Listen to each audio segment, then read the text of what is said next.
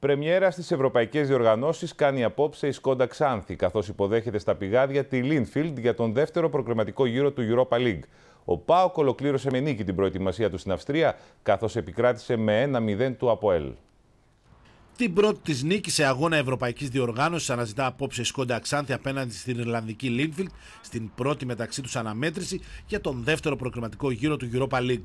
Η ομάδα της Ξάνθης, σε περίπτωση που πάρει τη νίκη απόψε, τότε θα έχει κάνει ένα μεγάλο βήμα για την πρόκρισή της στην επόμενη φάση της διοργάνωσης, αλλά θα βάλει και τέλος στο αρνητικό ρεκόρ που έχει σε όσα μάτσα έχει παίξει στην Ευρώπη. Το παιχνίδι είναι, είναι δύσκολο και οι δύο ομάδες έχουν τις ελπίδες τους ε, θα προσπαθήσουμε όσο δυνατόν τουλάχιστον στην έδρα μας να κάνουμε μια νίκη. Τίποτε παραπάνω.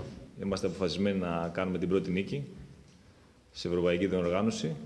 Είναι μια τεράστια υπόθεση για την ομάδα και για όλη την πόλη.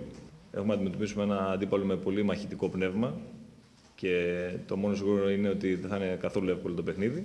Ο προπονητής της θρακική ομάδας έχει όλους τους παίχτε στη διάθεσή του για τον απόψινό ματ, ενώ η Ιρλανδία έφτασε στην Ελλάδα χωρίς τρεις βασικούς παίχτε.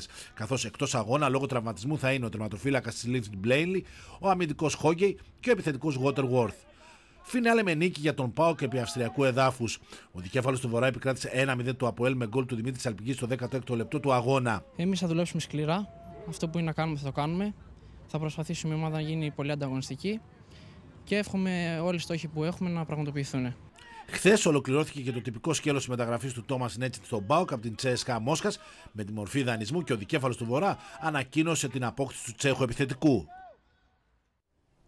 Η Ελλάδα ιτήθηκε με 72-70 από την Τουρκία στο ντέρμπι κορυφής του 5ου ομίλου και στα προημιτελικά του Eurobasket νέων που διεξάγεται στην Εστονία θα τεθεί αντιμέτωπη την Παρασκευή με την Ισπανία, διεκδικώντας την πρόκριση στην τετράδα. Την πρώτη της ήττα γνώρισε η εθνική ομάδα νέων στο Ευρωμπάσκετ της Εστονίας, καθώς το ντέρμπι κορυφής του 5ου ομίλου ιτήθηκε με 72-70 την Τουρκία. Έτσι η ελληνική ομάδα τερμάτισε στη δεύτερη θέση του ομίλου και αύριο θα αντιμετωπίσει την Ισπανία στα προημιτελικά. Η εθνική ομάδα κόντρα στην Τουρκία έκανε το χειρότερο ξεκίνημά της στη διοργάνωση, δίνοντας την ευκαιρία στην τουρκική ομάδα να κάνει σερή 18-0 μέσα σε 6 λεπτά. Στη συνέχεια, οι παίκτες του Κώστα Μίσα βελτιώθηκαν και το πρώτο δεκάλεπτο έλεξε 20-11, ενώ στο δεύτερο δεκάλεπτο οι Τούρκοι ήταν καλύτεροι και επικράτησαν με 36-27. Στο τρίτο δεκάλεπτο, οι προσπάθειες των Παπαπέτρου και Καμπερίδη έφεραν την ισοφάριση σε 39-39, με αποτέλεσμα το τρίτο δεκάλεπτο να ολοκληρωθεί με την εθνική ομάδα να προηγείται 54-53. Στο τέταρτο δεκάλεπτο η Τουρκία άρχισε με ένα 11-2 και το σκορ πήγε στο 64-56. Παρ' όλα αυτά, οι Έλληνες παίκτες προσπάθησαν για την ανατροπή και 37 δευτερόλεπτα πριν τη λήξη, ο Μποχορίδης με τρίποντο έκανε το 72-70. Στην επόμενη επίθεση οι παίκτες της Τουρκίας αστόχησαν, ωστόσο ο Παπαπέτρου έκανε βήματα αμέσως μετά και έτσι η τουρκική ομάδα πήρε την νίκη και την πρώτη θέση του ομίλου. Κορυφαία από την ομάδα του Κώστα Μίσα ήταν ο Μποχορίδη που πέτυχε 24 πόντους και ο Παπαπέτρου με 20, ενώ από την Τουρκία ο Ερόγλου πέτυχε 23 πόντους.